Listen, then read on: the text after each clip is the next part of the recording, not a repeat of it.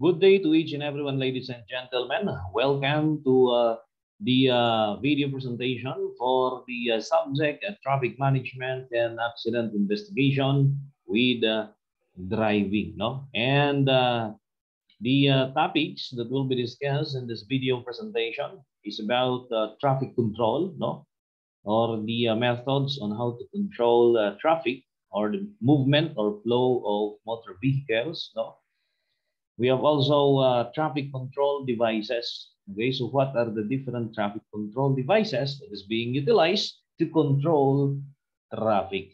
Okay, so uh, what are the objectives no, for uh, this uh, video presentation? At the end of uh, the uh, lesson or session, you as the student or listener should be able to identify the different types of traffic control devices. You should also be able to discuss the principles of traffic control, which includes the various control devices. So if I will let you to uh, recite, no, then uh, discuss, then you should be able to discuss it. No? And you should also be able to apply the knowledge on how traffic is being controlled. You should also be able to identify and categorize traffic signs. So if I will give you a quiz regarding the traffic uh, signs and traffic control devices, you should be able to identify them correctly. Echo, you should be able to classify the different types of traffic signs, whether the traffic sign that I'm presenting is uh, informative sign, no, regulatory sign, or cautionary uh, signs. Okay, Ayan. So what we are waiting for, let us proceed to our discussion. So what is traffic control?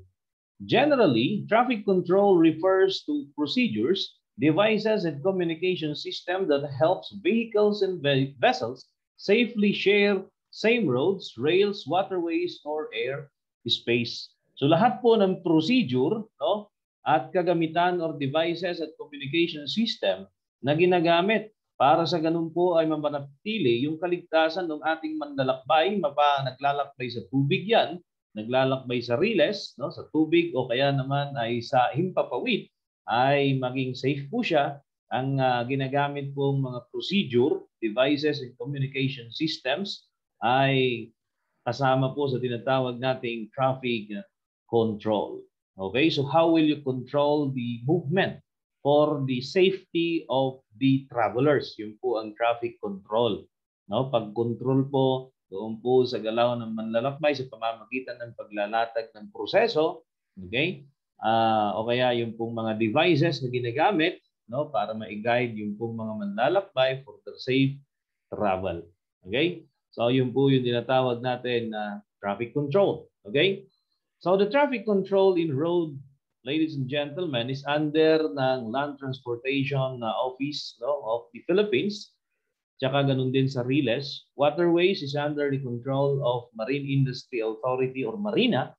And we have airspace is under the control of uh, MEIA or Manila International Airport Authority. So all the systems and procedures and devices to the communication system that they are using for the safe travel of travelers, no, or for the safety of travelers are called as traffic control. So, uh, what is traffic control as applied to Land Transportation Office? So as applied to Land Transportation Office, na kung saan ang kanilang saklaw po ay yung pong paglalakbay sa mga kalupaan ng Pilipinas, no? O transportation that is used in land, kaya land transportation. So ano ang traffic control, no? As uh, applied to the land transportation. So, uh, traffic control as applied to land transportation refers to a system, a system ano, of the traffic engineering employing prescribed traffic rules and regulation and devices such as signals or yung pong mga traffic lights, traffic signs, no, and markings. Those are pavement markings, to the markers, to relieve vehicular congestion and air pollution and to promote safety of pedestrians and mobility. O hindi lang po yung safety ang sinasaalang-alang dito kung bakit naglalagay po ng traffic uh, signs, signals, markings, no? Para sa ganon ay uh, maganda po yung pong uh, or efficient yung pong paglalakbay ng pong ating mga manlalakbay no so uh, it is also used to ease the uh, congestion or vehicular congestion okay? And of course usually in heavy populated urban areas. In smaller towns traffic uh, light no or with light traffic uh, traffic lights are not usually used no? Kasi light naman yung traffic. Uh, similar uh, control is being used. However, uh, syempre, mas simple lang yung mga traffic control devices and engineering techniques na ginagamit kumpara doon po sa highly urbanized cities. Okay? So, yun po mga kapatid. Anong ginagamit? Control traffic in land transportation. You have traffic signals, no? pavement markings and markers. And of course, there is also a procedure that is being followed when uh, traveling. Okay? Yan. So what is control techniques that is being applied no? and what is control technique? Control technique, the primary emphasis of control or traffic control is the safe and efficient flow of cars, mga sasakyan, no? Ayan, so SUV, no?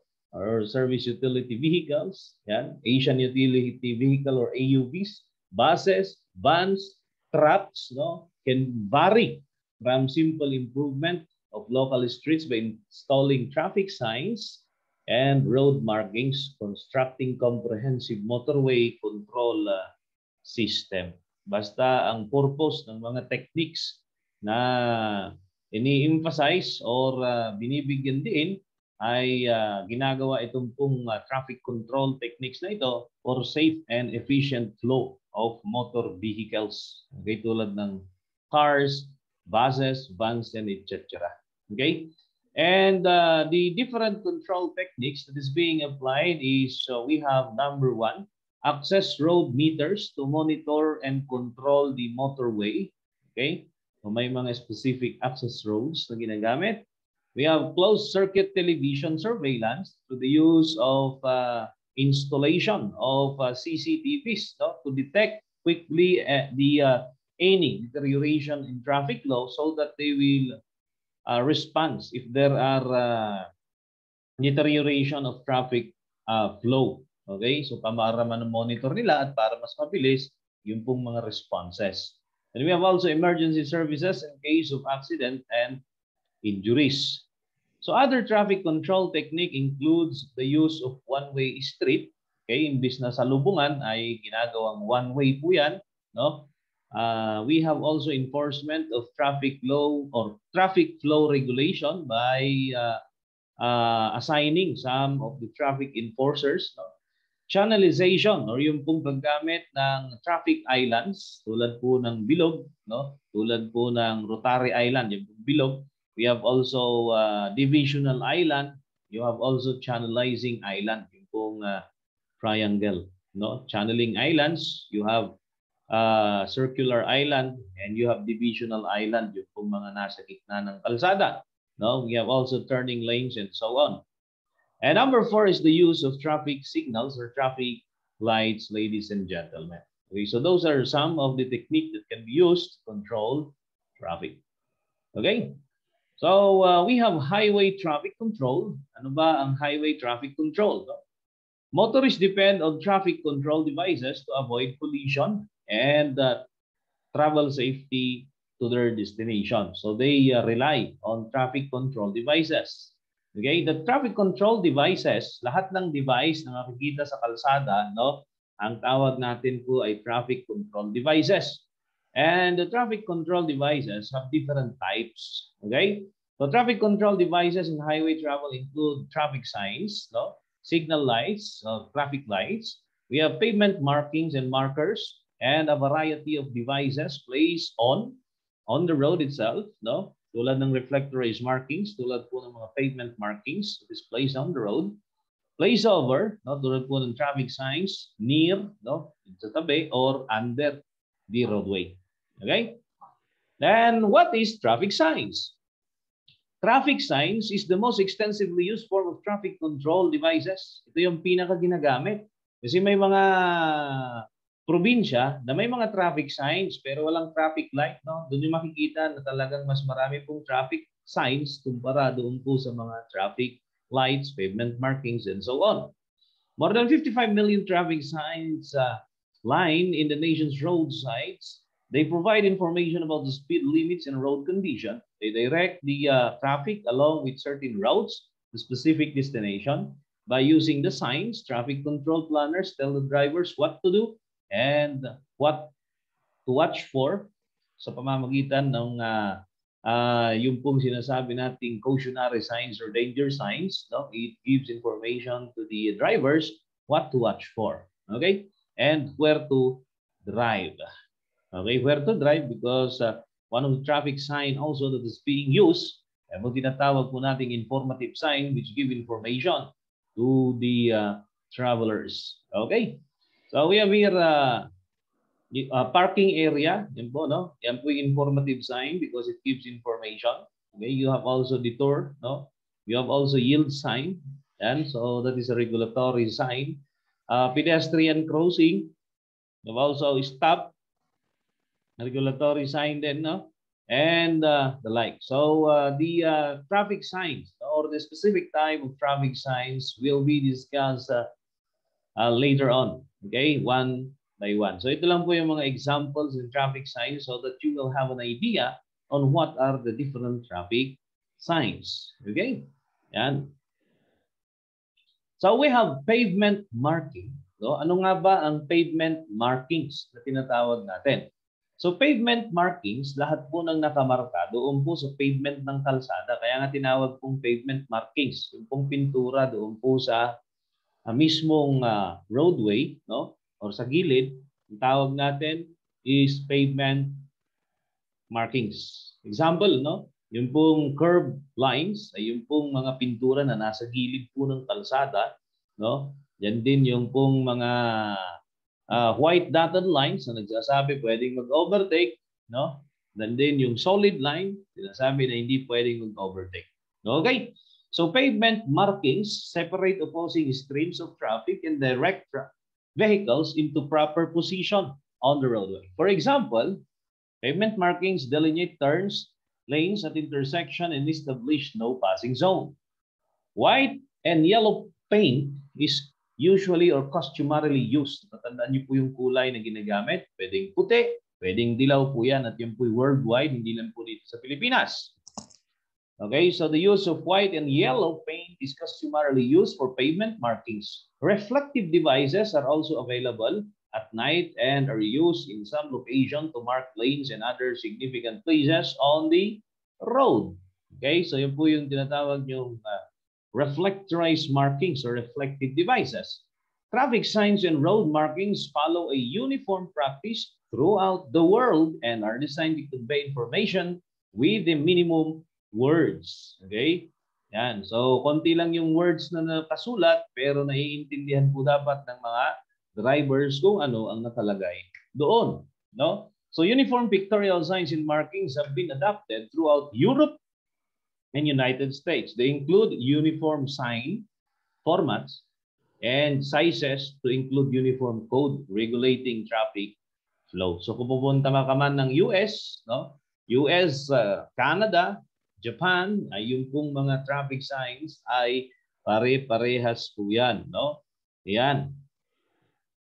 Oh, sa pavement markings, we have uh, these examples, we have a broken yellow line or a broken white line. Yan. Whether white or yellow, ibig sabihin yan ay pwedeng mag-overtake if it is clear. Pagka solid line po yan, either white or yellow, hindi rin pwedeng mag-overtake. Parehas yan. Okay? Oh, a single uh, yellow or uh, white line also divides the flow of traffic. No? Yung papunta roon at paparito. You have dotted lines, pwedeng mag-overtake, ladies and gentlemen. Okay, so double solid, both no, ay hindi pwedeng mag-overtake. Paano kapag ka magkatabi yung dotted line at saka yung foam solid line? Pagka ikaw po yung mas malapit sa dotted line, ikaw yung pwedeng mag-overtake if it is clear. Pagka ikaw naman ay mas malapit doon po sa solid line, hindi ka pwedeng mag-overtake. Okay? Then we have also the junction box. Okay? Junction box. Makikita po sa junction yan. Okay? So, uh, ang ibig sabihin po ng junction box, ladies and gentlemen, meron pong stop sign na nakalagay dyan. Ano? Kapag ka po nag-green na yung ilaw at uh, yung pong galing sa kanan, for example, nag-green na yung kanila, pero nakita niya doon po sa pupuntahan niya, ay wala pa po siyang space doon, hindi siya pwedeng pumagit na dito because it could uh, uh, it could cause traffic uh, jam, no? Yan. Which so, will also cause traffic congestion. So ganun po yung nangyayari. So yan po yung junction box. Huwag kang mag-park doon po sa junction box.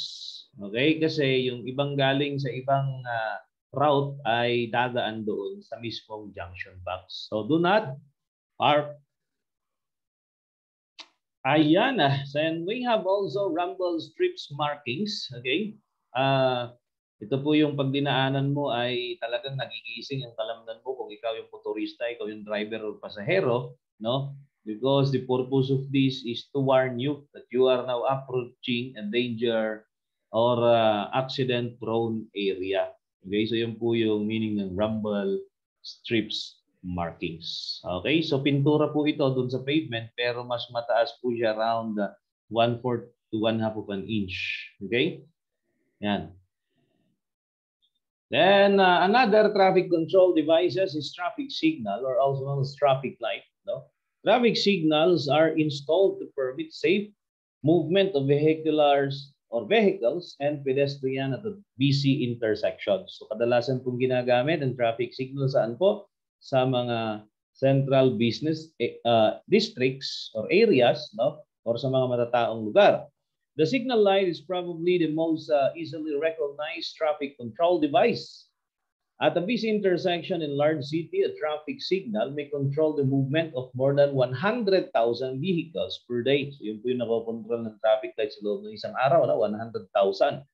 Okay, yung mano-mano yan, nabay mahirap po yan. More than 60% of all the miles driven each year are on roadways controlled by traffic signals. Traffic signals direct streams of vehicles and pedestrians when to go, to stop, or proceed with caution. The signal increase the traffic handling capacity of most intersection. They can work independently on timers, naka-time po, no? or naka-program, or it is connected to a computer-controlled system that operates over several intersection. Okay? Now, the arrangement of traffic light from top to bottom, when it comes to color, we have uh, red, amber, and green. Okay?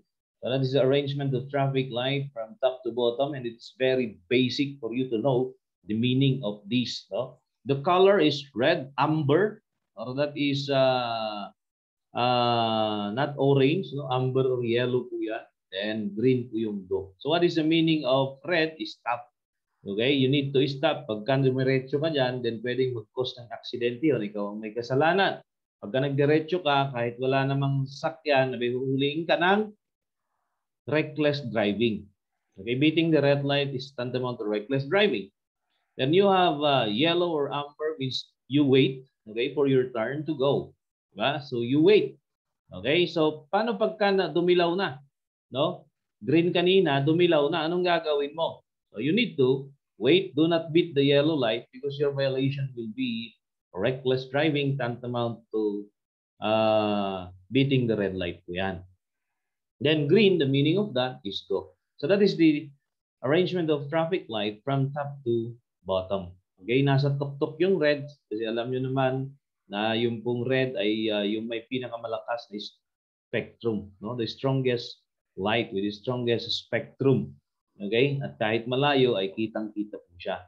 Na yun po yung on top and it uh, also uh, symbolizes danger. So do not enter if it is red kasi dangerous. Eh pag pinasok mo yung red, delikado yan, aksidente abot mo dyan. Okay? Then we have a priority control in one of the oldest methods of traffic control. One form of transportation is given uh, priority by restricting or banning forms of transportation. Example, dito po sa Baguio City, so ay meron po tinatawag na truck ban.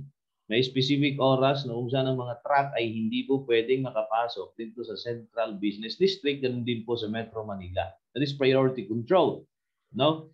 In the first century BC, Roman Emperor Julius Caesar banned wheel or banned wheel traffic from Rome during daytime, which allowed pedestrians, horse riders, and move freely around the cities.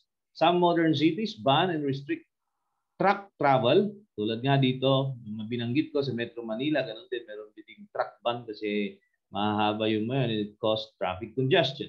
No? So, uh, bus lanes high uh, occupancy vehicles, lanes exist in many urban areas. Only specified types of vehicle can pass, no? primarily those carrying several occupants can uh, use these lanes by giving priority to high occupancy vehicles na kung saan yan po ay inilunsad doon sa Metro Manila bago ko po nagka-COVID, COVID, no? Uh, meron pong mga linya na naka-specific para sa mga high occupancy vehicles, yung mga bus, no? By giving priority to high occupancy vehicles, transportation planners encourage uh, carpooling and reduce congestion. Bago pumasok sa syudad, iwan na yung sasakyan doon, at pagkatapos ay dadaan na uh, sasakay na lang doon po sa mga uh, high occupancy vehicles or SUV. Okay? So uh, may specific na lane para sa kanila. So parang nasa litrato po kung makikita niyo, meron po yung para sa uh, mga sasakyan, no? Yan, so SUVs, no? O kaya naman ay uh, may linya para sa mga high uh, uh, high occupancy vehicles, yung pong mga uh, pang-transport tulad ng bus. Okay, so meron silang priority. Okay, so that is priority control. Sino ba yung mas uunahin na prioridad? Yung bang mga sasakyan na may isang sakay o yung may mga sasakyan na ang daming sakay? So yun po yung priority control. Sino ba ang priority? Sila lang pwedeng makapasok. Okay, kung sa araw, yung mga service, yung pong priority dahil may pupuntaan ng mga tao, no, then pwede po yung mga private vehicles. Pagka sa gabi na, pwede nang pumasok yung mga truck. Di ba? Yan. So priority control. Then we have restraint as an alternative to banning traffic. Imbis na ibaban mo naman, no? The traffic control planners use devices to discourage heavy use of a road. Okay? So island built in the centers of intersection forces drives to proceed. Sorry for that. Now, drives or drivers to proceed slowly. Speed bumps discourage high-speed commuting uh, through residential neighborhoods. Concrete median strips prevent vehicles from making turns except at intersection.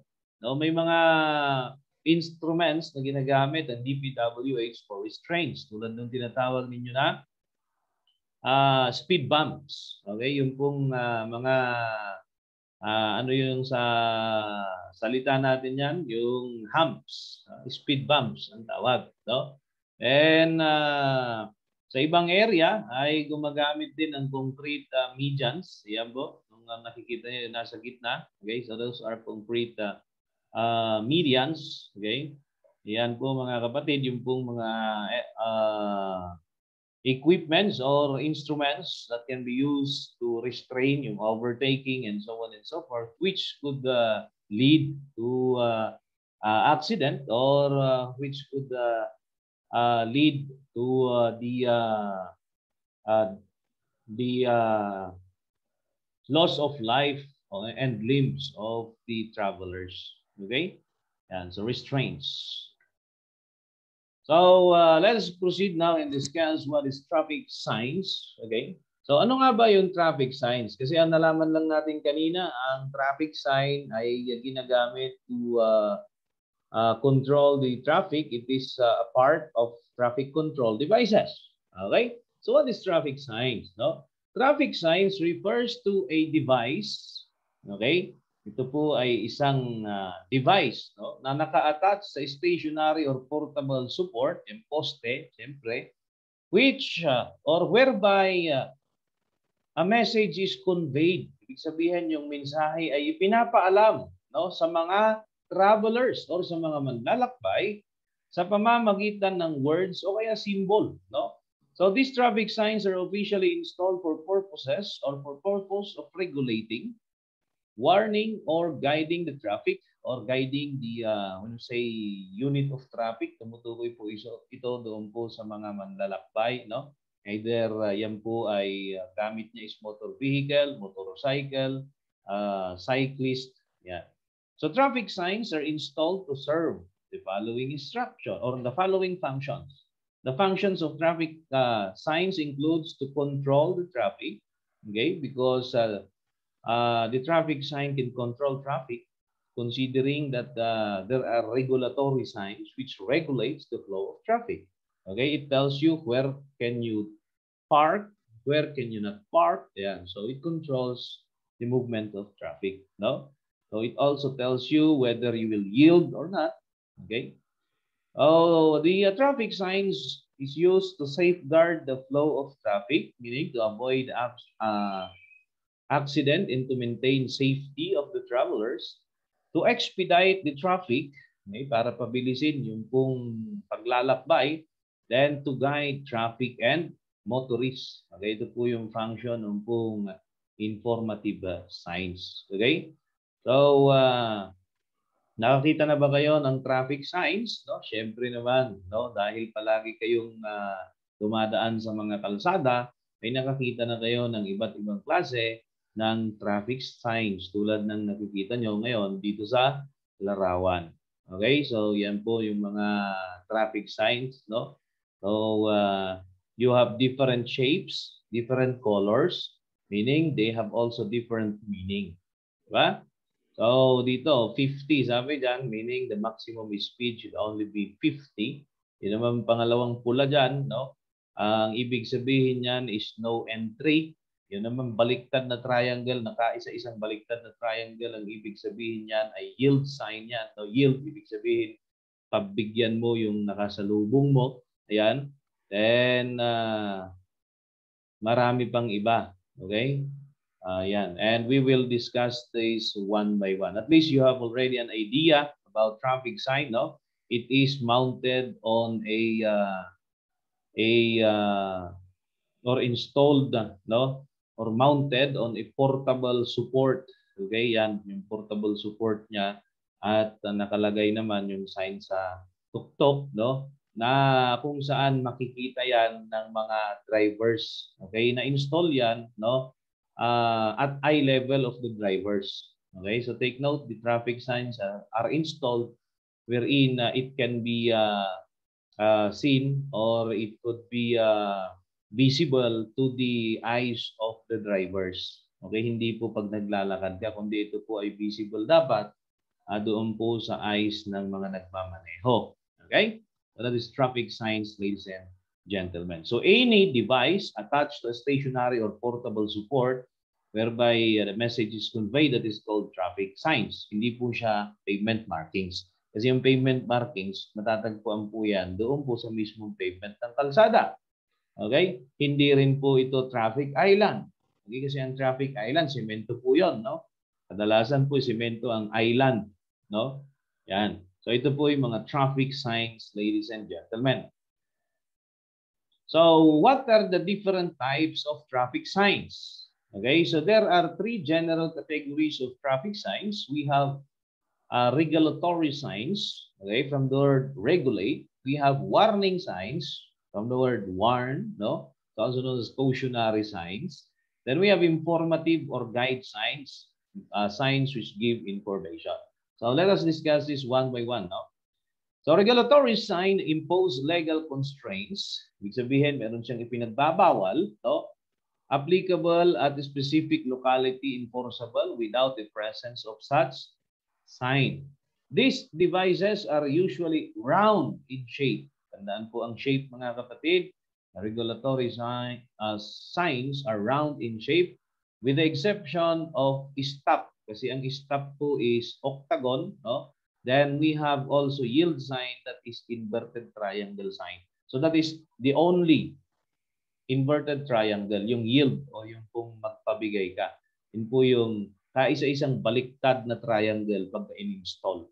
Okay? So regulatory sign is divided into two. You have mandatory sign, meaning to say, uh, when we say mandatory, yung sign po ay binibigyan ka ng utos na gawin ang isang bagay.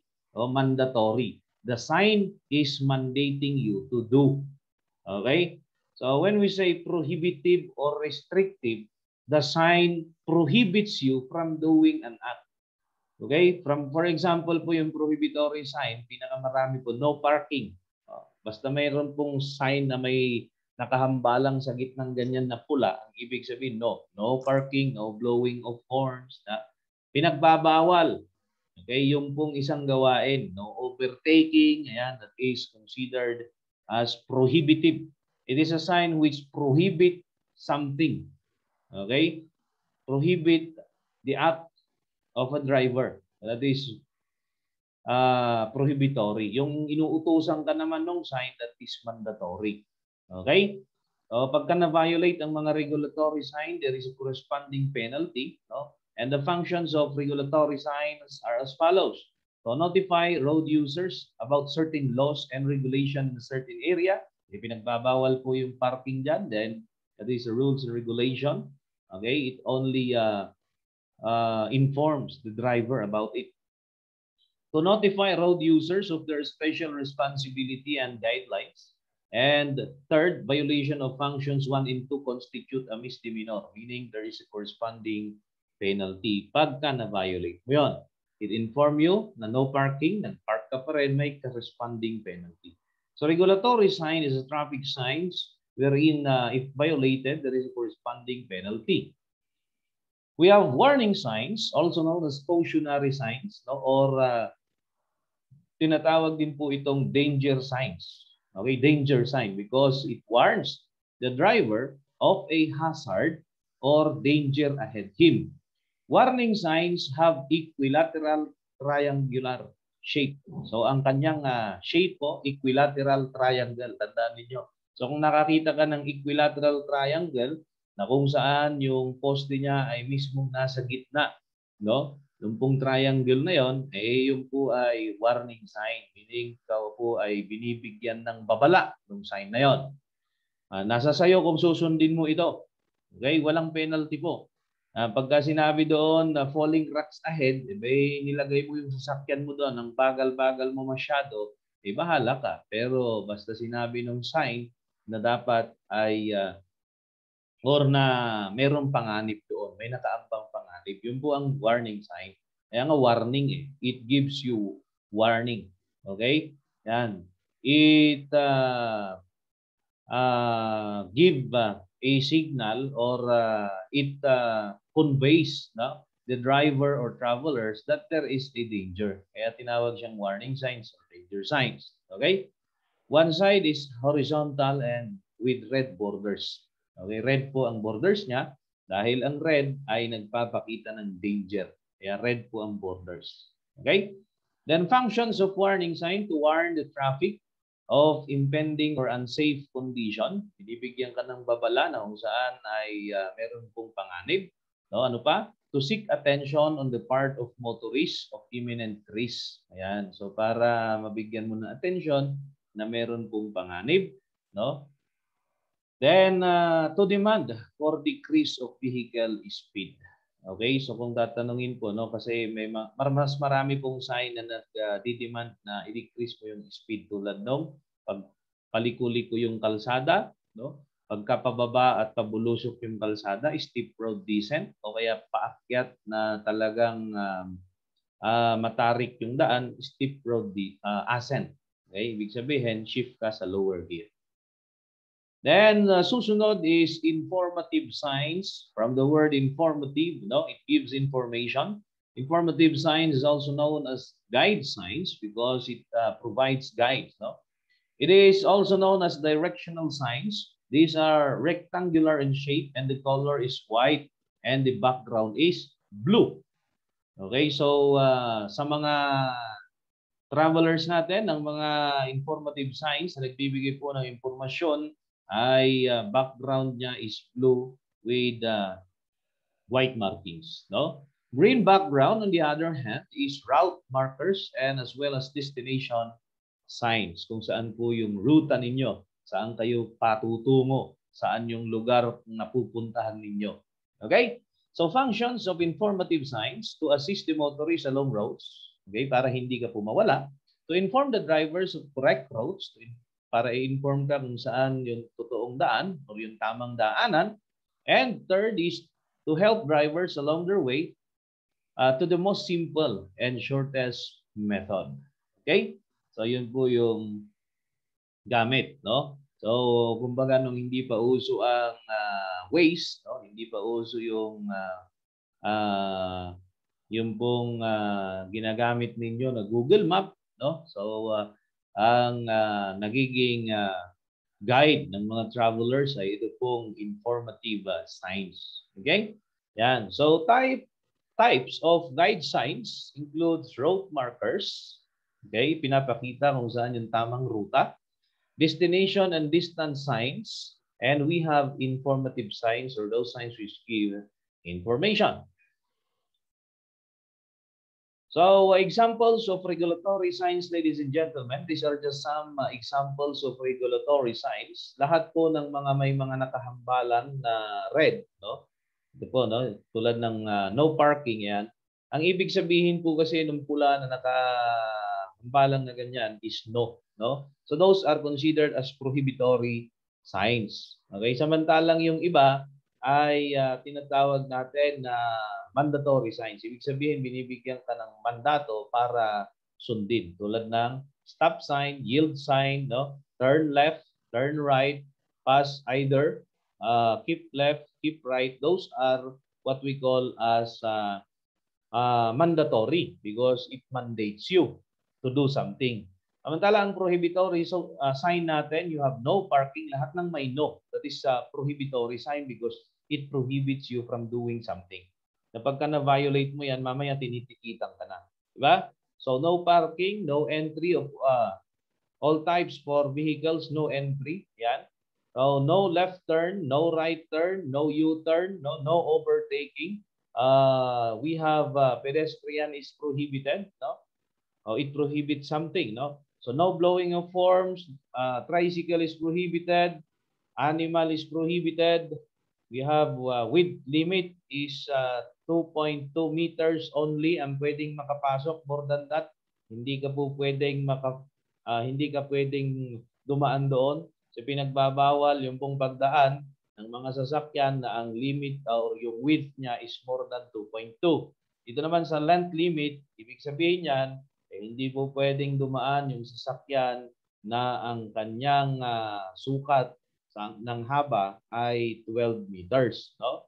Uh, you have also height limit. Ang ibig sabihin po niyan ay hindi po pwedeng dumaan yung sasakyan na ang sukat is more than 3 meters and 50 or 3.50 meters, no? 3 meters at kalahati.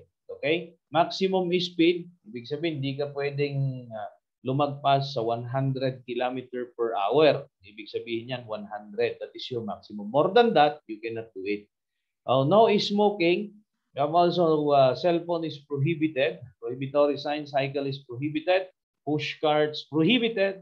Uh, no car is allowed. That is prohibitory also. Load 5 tons lang ang pwedeng maka, uh, makadadaan dyan. More than that, you are prohibited.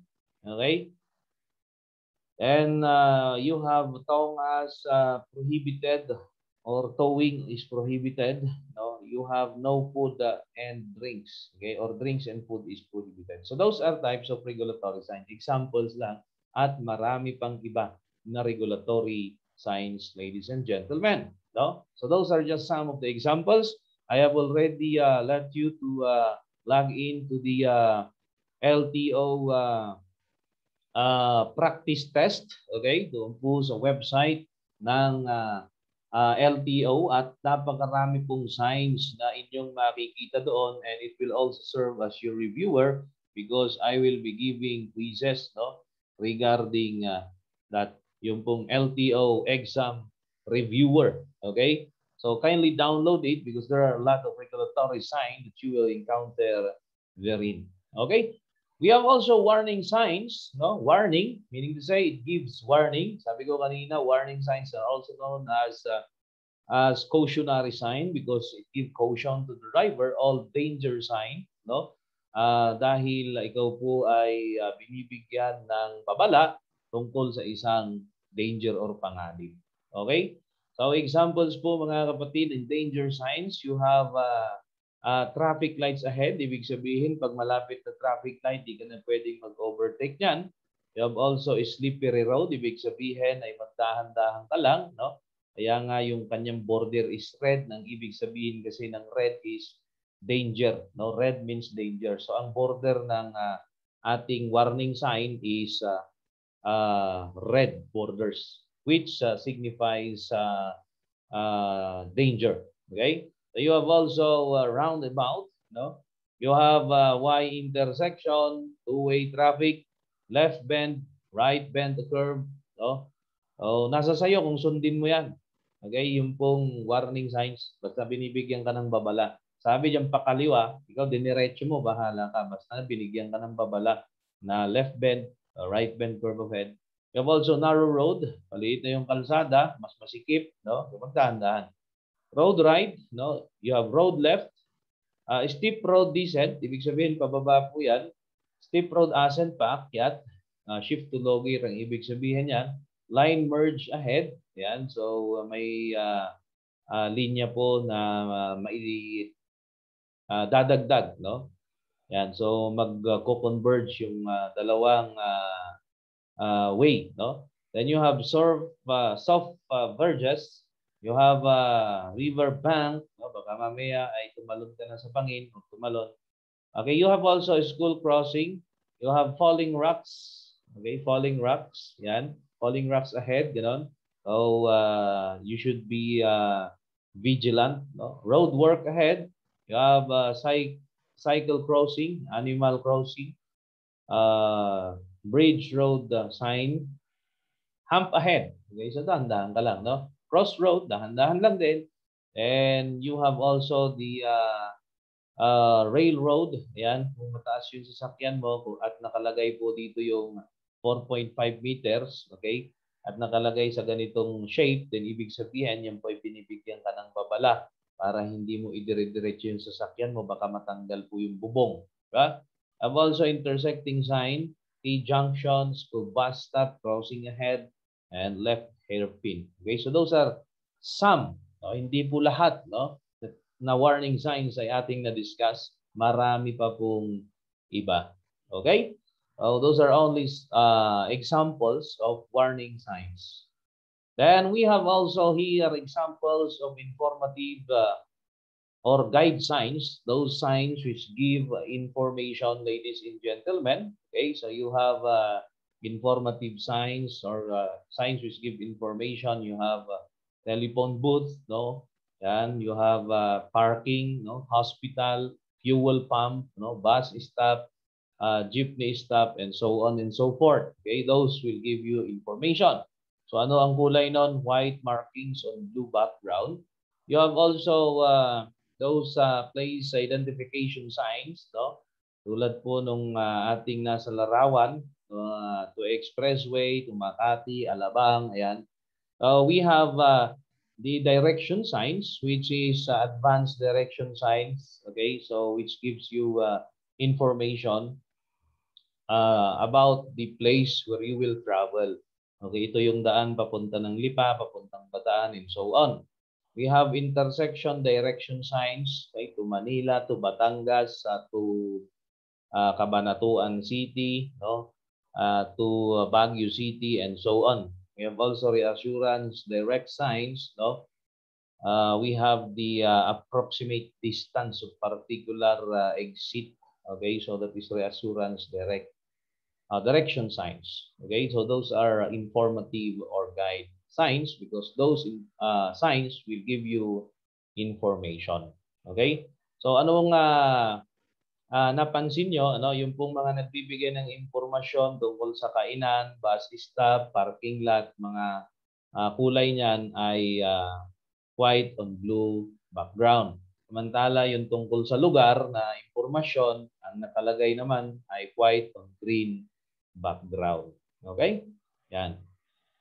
Then we have also additional uh, information. We have also the so-called kilometer markers. Ito po ay napaka-importante, lalong-lalo na yung pong ating mga travelers. May mayroon kayong makikita na mga maliliit na poste sa kalsada bawat kilometro. No, ang tawag po natin doon ay kilometer markers. Okay?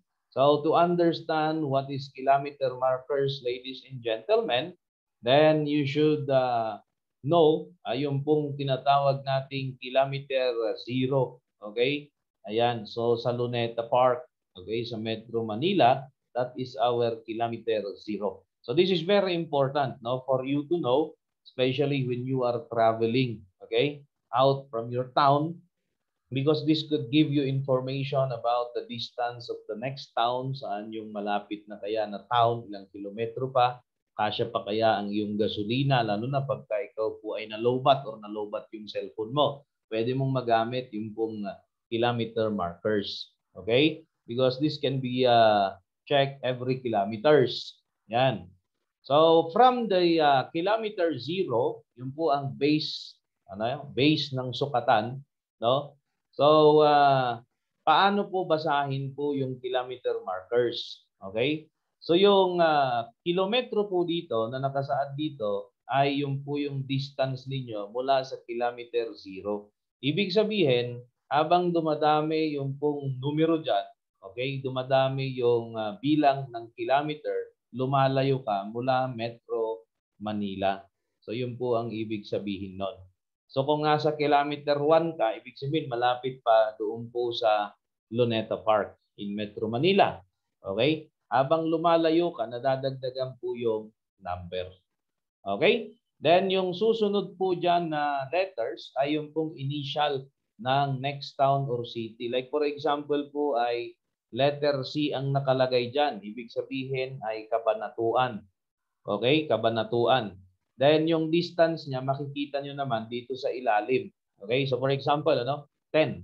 10 kilometers. So meaning to say, you are 10 kilometers, okay?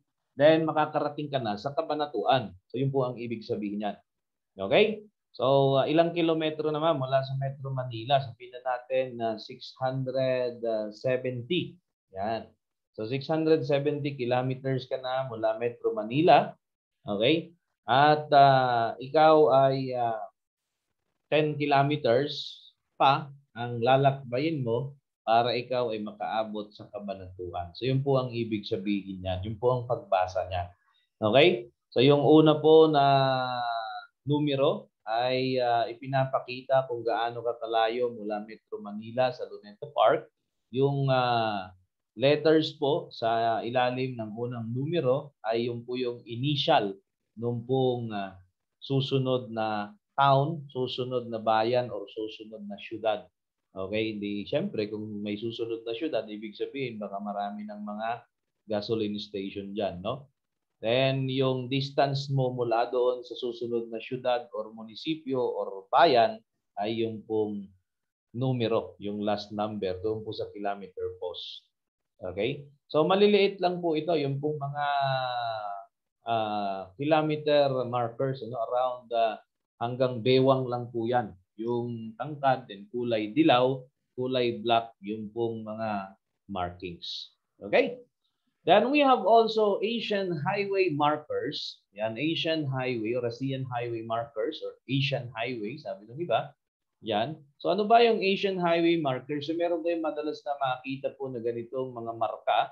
Ayan, pwedeng 1, 2, no? 2 po, pagka Maharlika Highway, dyan sa Kabanatuan, patungong Tugigaraw, 2 po yan. No? Ayan. So, uh, when we say 1, this is the primary national road of uh, our country. When we say 2, yung ganito, that is a secondary prime, uh, secondary national road. So kung 1 ang nakita nyo, ibig sabihin yan po yung primary road natin for the development of our country. So AH, ito pong nasa ilalim, AH stands for Asian Highway, a network of highway roads of international importance within Asia. It covers 141 kilometers of roads across 32 countries. Okay, so Asian Highway Network is part of the ASEAN Land, Trans Land uh, Transportation Infrastructure Development Project of the United Nations Economic and Social Commission for Asia and uh, the Pacific or the UNESCOP.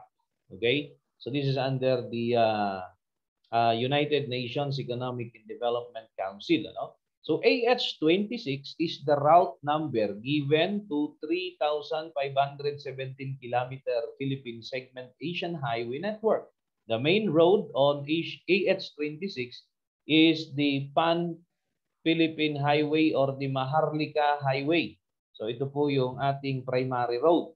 Okay, so yung Maharlika Highway from uh, stretching from uh, Lawag uh, City, Ilocos Norte to Zamboanga City. Okay? So, yun po yung uh, uh, meaning noong pong mga Asian highway markers na inyong nakikita mga kapatid.